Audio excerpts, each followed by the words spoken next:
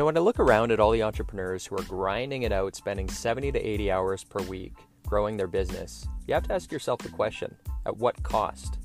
Hi, my name's Tim Yewchuk, and in this podcast, we're going to be exploring the tools, tactics, and strategies for crushing it and scaling your business without making the ultimate sacrifice of your time and freedom.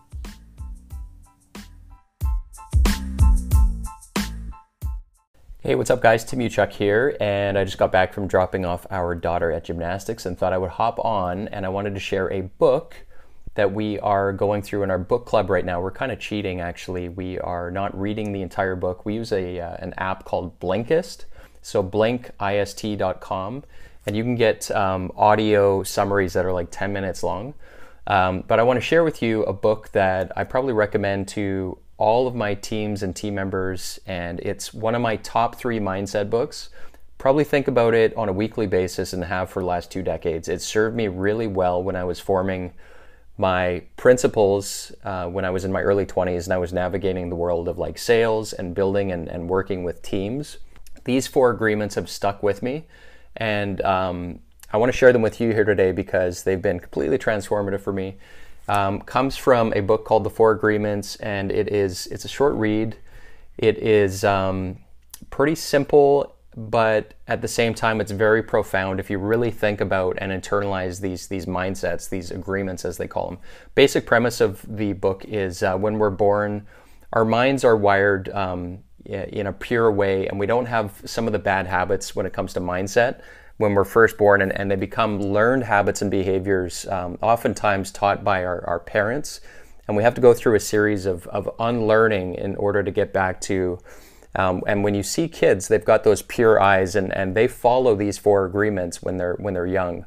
Um, so I'll go through them right now, and it'll it'll make sense as we go through it. But my goal for you is to uh, internalize and think about these four agreements and see if you can adopt and, and adapt them in, in some way to your daily life um, to challenge how you currently think about things. And uh, you might have some patterns within your mindset now. Um, and if you use these as countermeasures to those negative patterns, I think they're going to serve you well. So, the four agreements, let's go with number one. These might be in the wrong order, but uh, I'll, go, I'll go through all four of them and they all kind of uh, interconnect here. So, number one is be impeccable with your word. Very simple, but powerful at the same time. Be impeccable with your word forces you to say no because we have to realize and deal with reality. If, if we're people pleasers and we're not impeccable with our word by saying yes to everything, then we're breaking promises because there's only 24 hours, we're only one person.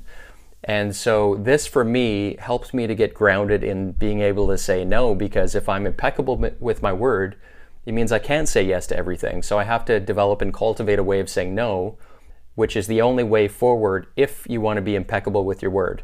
So, being impeccable with our word forces us to, you know, deal with reality. Um, it's going to improve your reputation in the long run because you're going to be grounded in saying yes and saying no to the right things because people will be able to trust you and know that you're going to follow through because you're always impeccable with your word. So that's number one.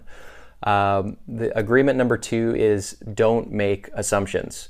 Don't make assumptions. So think in terms of if you're driving through rush hour traffic and you get cut off and, and your, your heart rate starts to go up and you get upset because you think you start to take it personally, which is related to another agreement. But um, making assumptions is that somebody is doing it because of you, whereas you don't know if they're rushing to the hospital or maybe they just got fired from work. You have no idea what they're going through. And so, oftentimes, when we make assumptions, we're living in this alternate reality and it can completely mess up our day by going down this rabbit hole of assumptions, which are oftentimes negative.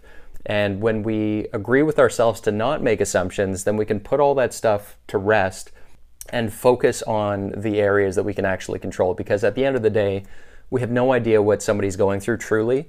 We have no idea what's going on in their heads. And when we make assumptions, then it's a complete waste of our energy and it's a, it's a negative um, mindset.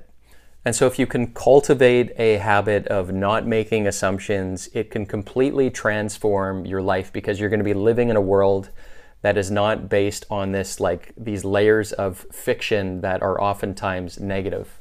Okay, so agreement number three is always do your best. Again, it's very simple. It's something that we teach our kids, but if you really think about and you really apply this in your daily life to just always do your best, given your current circumstance, given your current resources, everything that, that you have, whatever your situation is right now, as long as you're doing your best, it's going to allow you to look back on the day, look back on the week, look back on the month, and have no regrets. You can say, I did my best. And so if you approach an attack every single day by giving it your best, you're going to live a life without regrets. And this pattern is also going to lead to uh, winning more promotions. If you work on a team, you're going to get promoted more.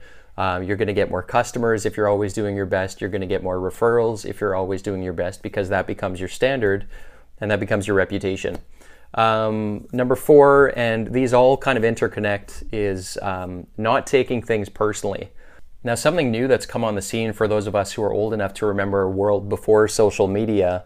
Uh, now, with social media, people are much more critical of anything that they see because they can hide behind the veil of, of social media. And so, if you ground yourself on a daily basis in this principle of not taking things personally, it's kind of similar to not making assumptions, but when people criticize you, it's really usually due to their own insecurities and they're projecting almost looking in a mirror when they're criticizing you.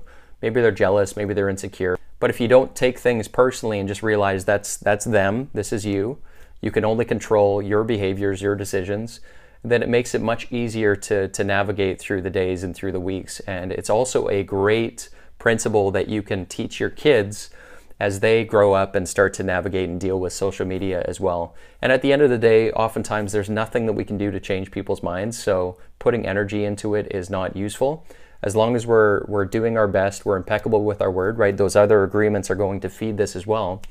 So at the end of the day, you can't take things personally because you know you've done your best, you're not making assumptions, you're being impeccable with your word, right? So therefore we don't need to take things personally and we can't take things personally.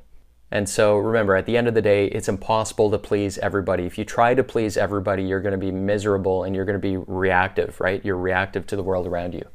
So instead, we want to be rooted and grounded in principle and just let the results take care of themselves.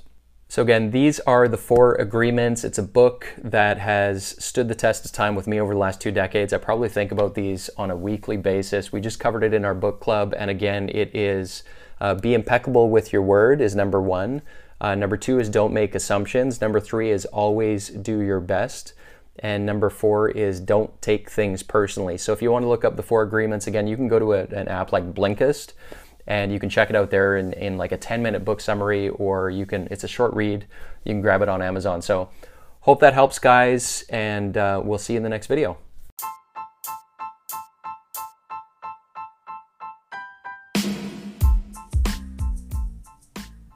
Hey, Tim Yewchuk here. And real quick, if you enjoyed this podcast episode, if you could take a couple quick seconds to give it a rating, it would be very much appreciated.